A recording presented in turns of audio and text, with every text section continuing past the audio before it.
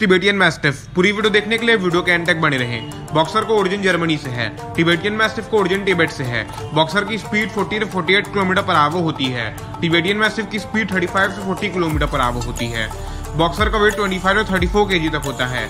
Tibetan mastiff का wait 34 से 68 KG तक होता है।